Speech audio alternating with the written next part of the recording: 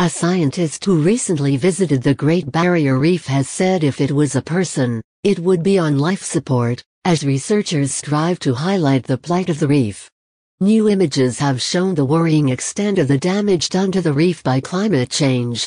Rising water temperatures have damaged the world's largest reef system, which stretches for over 1,400 miles off the coast of Australia.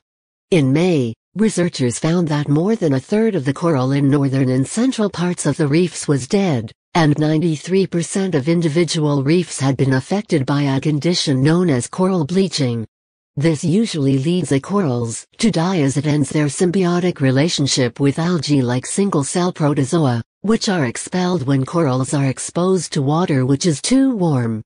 Scientists have found that the situation has worsened.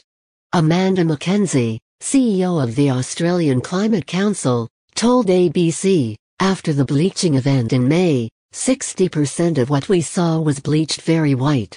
Another 19-20% was covered in sludgy brown algae. Even of what remained healthy, some looked a bit on edge. When we went back a few weeks ago to see if they had recovered or died, quite a large proportion had died. She estimated around half of the bleached corals they visited had died, and that the bleaching had mostly affected delicate corals rather than the stronger brain corals. However, the researchers discovered that fewer species of fish were found on the reef. Professor Tim Flannery, who visited the reef in September, told ABC, We wanted to see how much repair there had been, but the coral we saw bleached and in danger a few months back has now mostly died.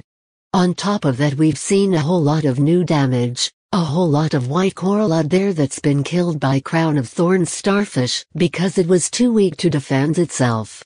If it, the reef, was a person, it would be on life support.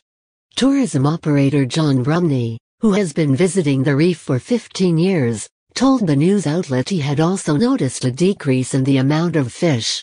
The experience is still fantastic, but tourists don't know what they're looking at. They don't know what it should look like, he said.